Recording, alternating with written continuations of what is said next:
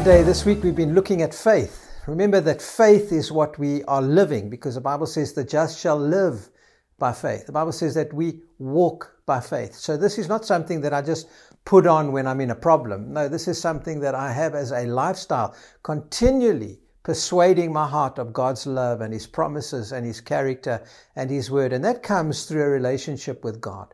In Hebrews 11:1 it says, Now faith is the substance of things hoped for the evidence of things not seen.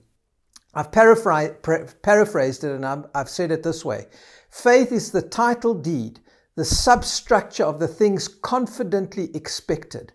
It is the proof, the certainty, and the conviction that the things already accomplished in Christ are mine.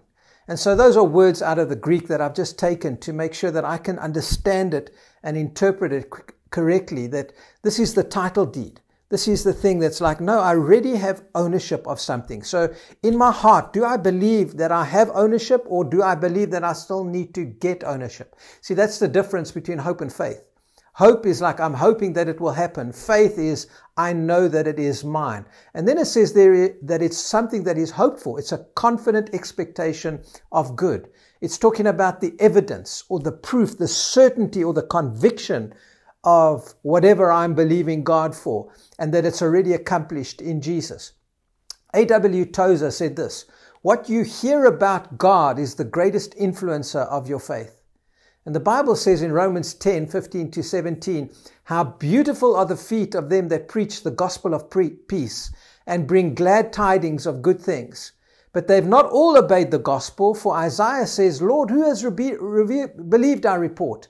So then faith comes by hearing and hearing by the word of God. So he's saying in this portion of scripture, hearing God and getting faith to work doesn't come by hearing bad news. He's saying, Lord, who has believed our report? So in Isaiah 40 verse 2, it says, the, the war is over, judgment has passed. In Isaiah 53 11, there it's talking about God is satisfied with what Jesus accomplished and is satisfied with you.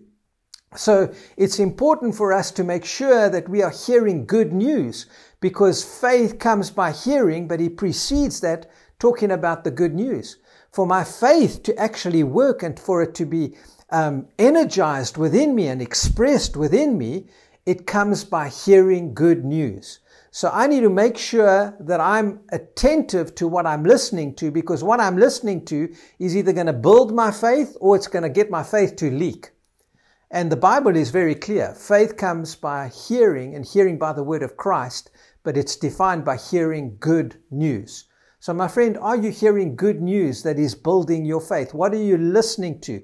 If you're listening to the news and you're listening to negativity and you're listening to religion, your faith is going to leak. But when you hear something that is connected to the finished work of Jesus, that by God's grace He's already provided everything, that God loves you with an unconditional love, that you don't need to fear Him. What happens is faith works in your heart because the love of God casts out all fear, and faith works by love. So it's knowing in my heart that God is true to His word and that He loves you unconditionally that'll energize my faith.